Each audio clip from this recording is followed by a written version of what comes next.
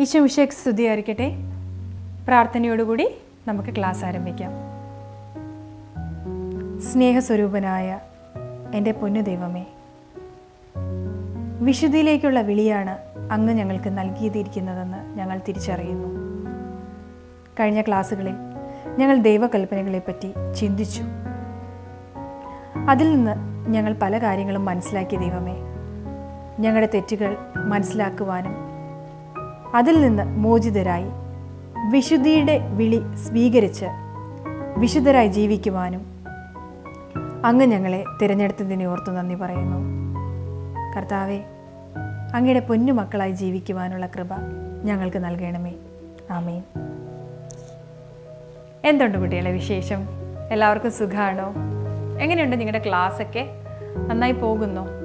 എന്തായാലും ഇപ്പോൾ അടുത്ത് വരുവാണ് കേട്ടോ അല്ലേ? നിങ്ങളുടെ ഫസ്റ്റ് ടേം എക്സാം കാണും ഓൺ എക്സാം ഒക്കെ കഴിഞ്ഞിട്ടുണ്ടായിരിക്കും. എനിക്ക് തോന്നുന്നു നിങ്ങളുടെ പോർഷൻസ് ഒക്കെ ഓൾമോസ്റ്റ് തീർന്നു വരുന്ന ഒരു സമയമായിട്ടുണ്ട്. ക്ലാസ്സിൽ പോകാൻ പറ്റുന്നില്ല എന്ന് കരുതി എന്റെ പൊന്നു മക്കളെ ഉഴപ്പരുത് നല്ല മക്കളെ പഠിക്കുക. എന്ത് ചെയ്യാൻ? We have to overcome the situation അല്ലേ? ഓവർകം ചെയ്ത് നമ്മൾ നല്ല ഒരു ഇതിലോട്ട് എത്തിക്കണം. അപ്പം മടുപ്പ് തോന്നരുത്. നന്നായി പഠിച്ച് തന്നെ മുന്നേറണം. അതിനോടൊപ്പം കേറ്റിസം ഒക്കെ കുറച്ചൊക്കെ നോക്കാൻ നോക്കണം അല്ലേ? ദൈവത്തെ കൂടാതെ ഒന്നും ചെയ്യാൻ സാധിക്കില്ല അല്ലേ? അപ്പോൾ നമ്മൾ ദൈവത്തെക്കുറിച്ച് അറിയണം. എല്ലാവർക്കും അറിയാലോ നമ്മൾ നാല് ചാപ്റ്റേഴ്സ് കഴിഞ്ഞു. ഇന്ന് നമ്മൾ അഞ്ചാമത്തെ ചാപ്റ്ററിലോട്ട് പോവുകയാണ്. എന്താ നമ്മുടെ അഞ്ചാമത്തെ ചാപ്റ്റർ മാനവ സമൂഹം എന്നാണ് അഞ്ചാമത്തെ ചാപ്റ്ററിന്റെ പേര്. ആ മാനവ സമൂഹം. മാനവ സമൂഹം എന്ന് വെച്ചാൽ എന്താ? മനുഷ്യ സമൂഹം. മനുഷ്യൻ എന്ന് കൊടുക്കാതെ മനുഷ്യ സമൂഹം അല്ലെങ്കിൽ മാനവ സമൂഹം എന്നാണ് കൊടുത്തിരിക്കുന്നത്. എന്തുകൊണ്ടാണ്? ഹ്യൂമൻസ് എന്താണ്? ഹ്യൂമൻസ് എന്ന് പറയുമ്പോൾ സോഷ്യൽ ബീങ്സ് ആണ് അല്ലേ? സാമൂഹിക ജീവികളാണ് മനുഷ്യരെല്ലാവരും. സൊസൈറ്റിയിൽ ഒരുമിച്ച് ഒരു കമ്മ്യൂണിറ്റി ആയിട്ട് ഇങ്ങനെ ജീവിച്ചു പോകുന്ന വ്യക്തികൾ. നമ്മൾക്കൊരിക്കലും ആരെയും ഡിപ്പെൻഡ് ചെയ്യാതെ ജീവിക്കുവാൻ സാധിക്കൂ. ആരെയും ഡിപ്പെൻഡ് ചെയ്യാതെ. ചിലരൊക്കെ പറയും എനിക്ക് ആരുടെ ആവശ്യമില്ല? ഞാൻ ആരെയും ഡിപ്പെൻഡ് ചെയ്യില്ല. അങ്ങനെ മനുഷ്യന് ജീവിക്കാൻ സാധിക്കില്ല എന്ന് ചിന്തിച്ച് നോക്കി. ഒരിക്കലും പറ്റില്ല. മനുഷ്യനാണെങ്കിൽ മനുഷ്യനെ ദൈവം സൃഷ്ടിച്ചിരിക്കുന്നത് പരസ്പരം സഹകരിച്ചും സ്നേഹിച്ചും ജീവിക്കാൻ തന്നെയാണ്. ദൈവം ആദ്യം ആദത്തെ സൃഷ്ടിച്ചു. ആദത്തിനെ സൃഷ്ടിച്ചിട്ട് ആദ്യം ചിന്തിക്കേണ്ട കാര്യം എന്നറിയാവോ ദൈവം എല്ലാ സൃഷ്ടി എല്ലാ കാര്യങ്ങളും സൃഷ്ടിച്ചിട്ട് ഏറ്റവും ലാസ്റ്റാണ് മനുഷ്യനെ സൃഷ്ടിച്ചത്. എന്തുകൊണ്ടാണ് ഓരോ കാര്യങ്ങൾ സൃഷ്ടിച്ചിട്ട് ദൈവം ചിന്തിച്ചിട്ടുണ്ടായിരിക്കും. ഓക്കെ നന്നായിരിക്കുന്നു. പറയുന്നുണ്ട് ബൈബിളിൽ നന്നായിരിക്കുന്നു നന്നായിരിക്കുന്നു എന്ന് പറയുന്നുണ്ട്. അവസാനം മനുഷ്യനെ സൃഷ്ടിച്ച് മനുഷ്യനാണ് ദൈവം സ്വന്തം ചായലും സാദൃശ്യത്തിലും സൃഷ്ടിച്ചത്. ഏറ്റവും ബെസ്റ്റായിട്ട് ദൈവം സൃഷ്ടിച്ചത് ആരെയാണ്? മനുഷ്യനെ. അങ്ങനെ മനുഷ്യനെ സൃഷ്ടിച്ച് ഭയങ്കര ഹാപ്പി ആയിട്ടുള്ള ദൈവം മനുഷ്യനെ ഒറ്റയ്ക്ക് വിടാനായിട്ട് ആഗ്രഹിക്കുന്നില്ല. ദൈവം തന്നെ അവിടെ എന്താ പറയുന്നത് ആദം അങ്ങനെ ഒറ്റയ്ക്ക് ഇരിക്കുന്നത് നല്ലല്ല തുണയായി അല്ലേ? അവന് തുണയായിട്ട് ഒരാളെ കൊഴിനെ കൊടുക്കണമെന്ന് പറഞ്ഞ് ഹവയെ സൃഷ്ടിക്കുന്നു. സോ അവിടെ ആദത്തിന് ഒറ്റയ്ക്ക് പറ്റത്തില്ല എന്ന് കർത്താവിനെ അറിയാം. അതുകൊണ്ട് ഹവയെ കൊടുക്കുന്നു. അവരൊരു കുടുംബമാകുന്നു അവർക്ക് മക്കൾ ജനിക്കുന്നു അങ്ങനെ തലമുറകൾ തലമുറകൾ തലമുറകളായി നമ്മളിത് ഇവിടെയൊക്കെ എത്തിയിട്ടുണ്ട്. ഓക്കെ അപ്പോൾ ആരെയും ആരെയും ഡിപ്പെൻഡ് ചെയ്യാതെ എനിക്ക് ജീവിക്കാൻ പറ്റും എന്ന് പറ്റില്ല. രണ്ടോ മൂന്നോ ദിവസം ഒരു വീട്ടിൽ ഒറ്റയ്ക്ക് താമസിക്കുമായിരിക്കും. കുറച്ച് ദിവസം കഴിയുമ്പോഴേക്കും നമുക്ക് മടുപ്പ് തോന്നും. അല്ലേ? നമ്മൾ പുറത്തോട്ട് ഇറങ്ങും. അത് ഉറപ്പാണ്. അല്ലാതെ പറ്റില്ല. ദൈവം മനുഷ്യനെ അങ്ങനെയാണ് സൃഷ്ടിച്ചിരിക്കുന്നത്. പക്ഷേ ആനിമൽസ് എങ്ങനെയാണോ? ആനിമൽസ് ആ സ്വന്തം ആ ഒരു കമ്മ്യൂണിറ്റിയിൽ മാത്രമേ ജീവിക്കൂ എന്നുള്ളൂ ഒന്ന് ഉണ്ടോ? ഇല്ല. ഒന്ന് ചിന്തിച്ച് നോക്കി. നമ്മളുടെ വീട്ടിലെ പെറ്റ് ആനിമൽസ് അതായത് പൂച്ചയോ പട്ടിയോ എന്തോ ആയിക്കോട്ടെ പോട്ടെ. അവർ പെറ്റ് ആനിമലായിട്ട് നമ്മൾ വളർത്തുമ്പോൾ ഒരു പൂച്ചക്കുട്ടി അല്ലെങ്കിൽ ഒരു പട്ടി ഉണ്ടായിരിക്കും. ഇത് നമ്മളോടൊപ്പമാണ് ജീവിക്കുന്നത് മറ്റു അതിന്റെ ആ ഇതിൽപ്പെട്ട മറ്റ് ആനിമൽസുമായിട്ട് അതിന് യാതൊരുവിധ ബന്ധവുമില്ല. പക്ഷേ അത് പട്ടിക്കുട്ടിയായാലും പൂച്ചക്കുട്ടിയായാലും വളരെ ഹാപ്പി ആയിട്ട് നമ്മുടെ കൂടെ ജീവിക്കും. അല്ലേ? അതിനാണ് അതുകൊണ്ടാണ് നമ്മൾ പെറ്റ് ആനിമൽസ് എന്ന് പറയുന്നത്. ഒരു പ്രശ്നവുമില്ല നേരെ മറിച്ച് നമ്മൾ നമ്മളെ കൊണ്ട് ഒരു സ്ഥലത്തിടുകയാണ്. ഒരു കാട്ടിലിട്ടെന്ന് വെച്ചോളൂ. നമ്മൾ അവിടെ താമസിക്കുമോ മൃഗങ്ങളൊക്കെ ചിലപ്പോൾ നമ്മളോട് ഭയങ്കര സ്നേഹത്തിൽ ബിഹേവ് ചെയ്താൽ പോലും നമ്മൾ തിരിച്ച് ഓടി വരും അല്ലേ? മനുഷ്യരോടൊപ്പം ജീവിക്കാനാണ്. അതാണ് മനുഷ്യന്റെ പ്രത്യേകത. ഈ ഇടയ്ക്ക് എന്റെ അങ്കിളുടെ വീട്ടിലൊരു സംഭവം ഉണ്ടായി. എന്ന് വെച്ചാൽ മനുഷ്യനും മൃഗങ്ങളും തമ്മിലുള്ള ഡിഫറൻസ് ആണ്. അവരുടെ വീട്ടിൽ ഒരു ഒരു പട്ടിക്കുട്ടിയുണ്ട്. പെൺപട്ടിയാണ്. അപ്പോൾ പട്ടിക്ക് കുറച്ച് കുറേ പപ്പീസ് കുറേ പട്ടിക്കുട്ടികളെ പ്രസവിച്ചു. അതിൽ കുറേ എല്ലാത്തിനെയും ഇവർ ഓരോരുത്തർക്ക് കൊടുത്തു.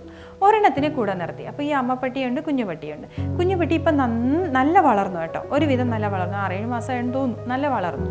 പക്ഷേ ഈ അമ്മ പട്ടിയെ പോലെയല്ല. ഈ ഇത് ഭയങ്കര എന്താ എല്ലാം ഇങ്ങനെ കടിച്ച് നശിപ്പിക്കുന്ന ഒരു ടൈപ്പാണ്. അപ്പോൾ ഇവർ വീട്ടിൽ കുറേ വെജിറ്റബിൾസ് ഒക്കെ നട്ടു. നട്ട് വന്ന് അതൊന്ന് പൂത്തു തുടങ്ങി നല്ല വെണ്ടയ്ക്കയൊക്കെ ഇട്ട് തുടങ്ങിയപ്പോഴേക്കും ഈ പട്ടി എന്ത് ചെയ്യും? അമ്മപ്പട്ടി കുഴപ്പമൊന്നുമില്ല. ഈ കൊച്ച് ഇത് പോയി എല്ലാത്തിനെയും പറിച്ച് കളയും. കുറേ നാൾ അവർ നോക്കി. പക്ഷെ ഒരു രക്ഷയില്ല. ഇത് ഇങ്ങനെ ഒരു സ്വഭാവം തന്നെ കാണിച്ചുകൊണ്ടിരിക്കുന്നു. അപ്പോൾ അങ്കിൾ എന്ത് ചെയ്തു? ഒരു ദിവസം രാത്രിയായി. ഇപ്പം വേറെ നിവൃത്തിയൊന്നുമില്ലാതെ വീട്ടിൽ നിന്ന് കുറേ ദൂരത്ത് ഈ പട്ടിയെ കുട്ടിയും കൊണ്ട് ഉപേക്ഷിച്ചു. കളഞ്ഞിട്ട് തിരിച്ച് വീട്ടിൽ വന്നു. തിരിച്ച് വീട്ടിൽ വന്ന് പിറ്റേ ദിവസം രാവിലെ ആയപ്പോഴേക്കും നോക്കിയപ്പോൾ ഗേറ്റ് തുറന്നപ്പോഴേക്കും ദേ നിൽക്കുന്നു ആ പട്ടിക്കുട്ടി. നല്ല ദൂരത്തിലാണ് ഓട്ടോ കൊണ്ട് കളഞ്ഞത്. പക്ഷേ ഇത് എങ്ങനെയോ മണം പിടിച്ച് തിരിച്ചെത്തി. പാവം ആ പട്ടിക്കുട്ടിക്ക് കുറേ കടി ഇട്ടിട്ടുണ്ടായിരുന്നു മറ്റ് പട്ടികളുടെ ആയിരിക്കാം. എനിവേ പട്ടിക്കുട്ടി തിരിച്ച് ഓടി വന്നു. ഒന്ന് ചിന്തിച്ചു നോക്ക്. കടി കിട്ടുക അല്ലെങ്കിൽ കടി കിട്ടിയില്ല എന്നല്ല. അതിനെ കൊണ്ട് കളഞ്ഞ ഒരു സ്ഥലത്ത് എന്തായാലും അതിന് അതിനെ പോലെ കുറേ പട്ടികൾ അവിടെ വന്നിട്ടുണ്ടായിരിക്കും. അല്ലെങ്കിൽ കുറേ നായ്ക്കളുണ്ടായിരിക്കും. പക്ഷേ അത് അതിനോട് ചേർന്നില്ല. തിരിച്ച് ഉടമസ്ഥനായ ഇവരെ തേടി വന്നു. ആനിമൽസിന് അങ്ങനെയാണ് നമ്മൾ ട്രെയിൻ ചെയ്ത് നമ്മളോട് നിർത്തി അത് നമ്മുടെ കൂടെ നിൽക്കും. നേരെ മറിച്ച് നമ്മളാണെങ്കിൽ അങ്ങനെയാണോ? ഇല്ല അല്ലേ? നമ്മൾക്ക് നമ്മുടെ മാതാപിതാക്കളെ വേണം സഹോദരങ്ങളെ വേണം ഫ്രണ്ട്സിനെ വേണം അയൽവാസികളെ വേണം. അങ്ങനെ അങ്ങനെ അങ്ങനെയാണ് ജീവിക്കുന്നത്. അപ്പോൾ നമ്മളൊരു കമ്മ്യൂണിറ്റി ആയിട്ട് ജീവിക്കുമ്പോൾ നമ്മൾ പരസ്പരം ബന്ധപ്പെട്ടിരിക്കുന്നു. നല്ല സമൂഹത്തിൽ നല്ല വ്യക്തികളായി ജീവിക്കാനുള്ള ഒരു വിളിയാണ് ദൈവം നമുക്ക് നൽകിയിരിക്കുന്നത്. ഇപ്പം ആദ്യം മാതാപിതാക്കളുടെ കാര്യം എടുത്തു. കർത്താവ് എല്ലാത്തിനും ഫ്രീഡം തന്നിട്ടുണ്ട്. എല്ലാത്തിനും ഫ്രീഡം തന്നിട്ടുണ്ട്. ദൈവം ഒരു കാര്യമേ പറഞ്ഞുള്ളൂ. എന്താണ്? നിങ്ങൾ ആ വൃക്ഷത്തിന്റെ ആ നടുവിലുള്ള വൃക്ഷത്തിന്റെ പഴം ഭക്ഷിക്കരുത്. അപ്പം മനുഷ്യന് എന്ത് ചെയ്തു?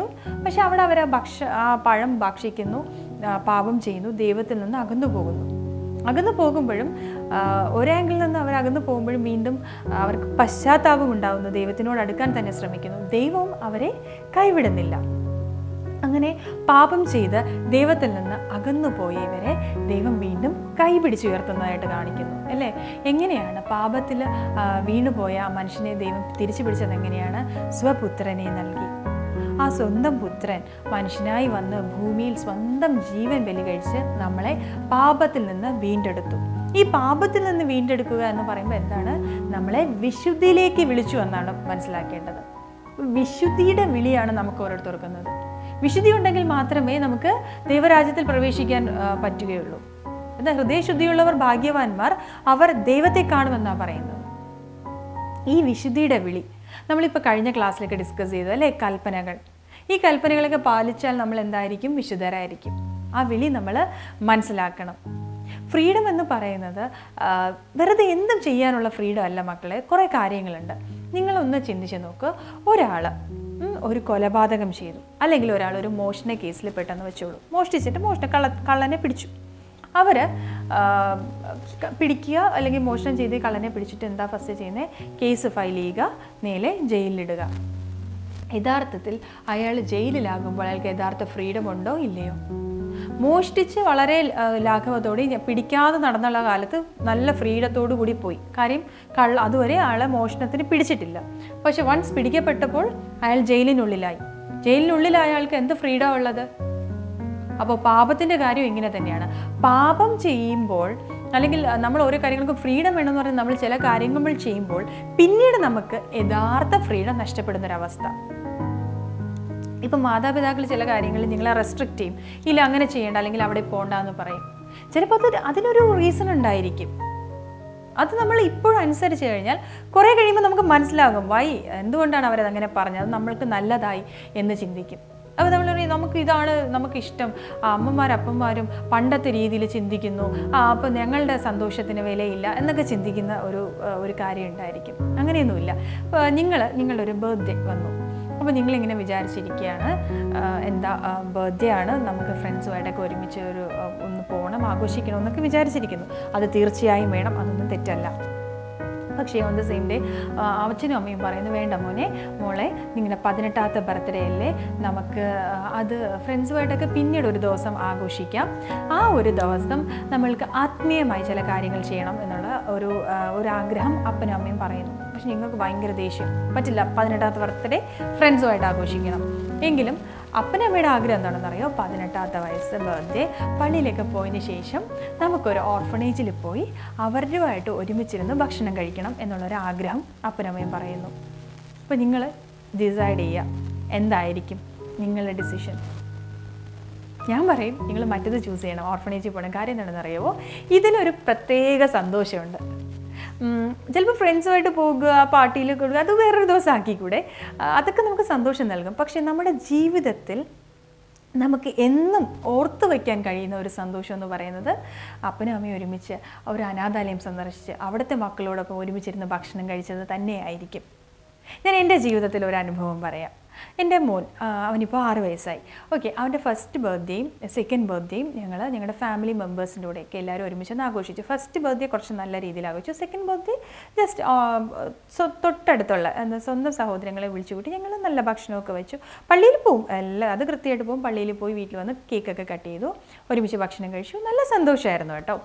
അപ്പോൾ തേർഡ് ബർത്ത്ഡേ ആയപ്പോഴേക്കും തേർഡ് ഇതായപ്പോഴേക്കും ഇതേപോലെ ഒരു ഇത് ചെയ്തപ്പോഴേക്കും ഞാൻ ഒരു സജഷൻ പറഞ്ഞു. വേണ്ട മൂന്നാമത്തെ അല്ല അവന് കുറച്ച് ഓർമ്മയൊക്കെ ഒരു സമയമല്ലേ നമുക്ക് ഒന്ന് ഒരു ഒരു സ്ഥലത്തോട്ട് പോകാം. അപ്പം ഒരു സ്ഥലം എന്ന് വെച്ചാൽ മറ്റൊന്നുമല്ല എന്റെ ഒരു ഫ്രണ്ടുണ്ട് അപ്പോൾ സിസ്റ്ററാണ് അപ്പോൾ ആ സിസ്റ്റർ അവർ ഓട്ടിസം ബാധിച്ച കുട്ടികളെ നോക്കുന്ന ഒരു സ്കൂളുണ്ട് അവർ ആ സ്കൂൾ നടത്തിക്കുന്നുണ്ട്. അപ്പം ഞാൻ പറഞ്ഞു നമുക്ക് ഈ ഒരു സ്ഥലത്തോട്ട് പോകാം. നമ്മൾക്ക് അവർ ആ മക്കളുമായിട്ട് പോയി കേക്ക് കട്ട് ചെയ്ത് അവരുമായിട്ട് ഒരുമിച്ചിരുന്ന് ഭക്ഷണം കഴിക്കാമെന്ന് പറയുന്നു. അപ്പോൾ ഹസ്ബൻഡിന് ഭയങ്കര സന്തോഷമായി. ഞങ്ങൾ ഞങ്ങൾ രണ്ട് ഫാമിലി ഒരുമിച്ച് ഹസ്ബൻഡിന്റെ അച്ഛന്റെ അച്ഛനും മമ്മിയും എന്റെ അമ്മച്ചി ബ്രദർ പുള്ളിക്കാരന്റെ സിസ്റ്റർ ഞങ്ങൾ എല്ലാവരും ഒരുമിച്ച് ഞങ്ങൾ ഒരു ഏഴെട്ട് പേര് ഒരുമിച്ച് മോനുമായിട്ട് ഞങ്ങൾ ആ ഒരു സ്കൂളിൽ പോയി. ആക്ച്വലി സ്കൂളിൽ പോയി ഞങ്ങൾ കേക്കൊക്കെ കട്ട് ചെയ്തു. അപ്പോൾ കേക്ക് കട്ട് ചെയ്യുന്നതിന് മുമ്പേ ഈ സിസ്റ്റേഴ്സ് എന്ത് ചെയ്തെന്ന് അറിയാവോ ഈ മക്കളെ ഒന്ന് ചിന്തിച്ച് നോക്കി അത്രയും ബുദ്ധി എത്തിയിട്ടില്ലാത്ത ഈ നല്ല മക്കളെയൊക്കെ ഇങ്ങനെ കൊണ്ടു നിർത്തി. സത്യം അത് കണ്ടപ്പോൾ സങ്കടമാണോ സന്തോഷമാണോ ആശ്ചര്യമാണോ എന്ന് എനിക്കറിയില്ല. അവർ എന്ത് എന്ത് നല്ല രീതിയിലാണെന്ന് പറയും ഇങ്ങനെ കറക്റ്റായിട്ട് അവരിങ്ങനെ നിർത്തിയിട്ട് അവരോട് പറഞ്ഞു വീറ്റോടെ ബർത്ത്ഡേ ആണ് എല്ലാവരും ബർത്ത്ഡേ വിഷ് ചെയ്തേ. അപ്പോൾ ഇവർ നല്ല രീതിയിൽ ബർത്ത്ഡേ വിഷ് ചെയ്തു. ആ ബർത്ത്ഡേ സോങ് പാടിയിട്ട് ലാസ്റ്റ് ഇങ്ങനെ ഗോഡ് ബ്ലെസ് യു എന്നൊക്കെ പറഞ്ഞ്. മോനെ മോനെ നോക്കിയിട്ട് ഇങ്ങനെ കൈ വെച്ചിട്ട് ഗോഡ് ബ്ലെസ് യു എന്നങ്ങനെ അവർ പാടി. അപ്പോൾ ആ എന്നെ സംബന്ധിച്ച് നോക്കുമ്പോൾ ഏറ്റവും നല്ല ഈ ഒരു അഞ്ചാറ് വർഷത്തിനിടയിലുള്ള ഏറ്റവും നല്ല ബർത്ത്ഡേ എന്ന് പറയുന്നത് ഏറ്റവും ഞങ്ങൾക്ക് കൊടുക്കാൻ പറ്റിയ ഏറ്റവും നല്ല ഒരു ബർത്ത്ഡേ എന്ന് പറയുന്നത് അത് തന്നെയായിരുന്നു. ആ മക്കളോട് ഒന്നിച്ചുള്ള ആ ഒരു ആഘോഷം. ചിലപ്പോൾ നിങ്ങളുടെ മാതാപിതാക്കൾ ഈ ഒരു പതിനെട്ടാമത്തെ വയസ്സിന്റെ ബർത്ത്ഡേക്ക് ഇങ്ങനെയൊക്കെ ചില കാര്യങ്ങൾ ആവശ്യപ്പെടുമ്പോൾ നാളെ ജീവിതത്തിൽ നിങ്ങൾക്ക് ഓർക്കാൻ പറ്റുന്ന ഏറ്റവും വലിയ കാര്യം അത് തന്നെയായിരിക്കാം. ഇതാണ് മനുഷ്യന് ദൈവം നൽകിയിട്ടുള്ള പ്രത്യേകത എന്ന് പറയുമ്പോൾ നമുക്ക് നമ്മുടെ ആത്മാവിന്റെ കുറേ ആഗ്രഹങ്ങളുണ്ട്. കരുണ സ്നേഹം ദയ ഇവയൊക്കെ അത് നമ്മൾ പ്രകടിപ്പിക്കാനുള്ളതാണ്.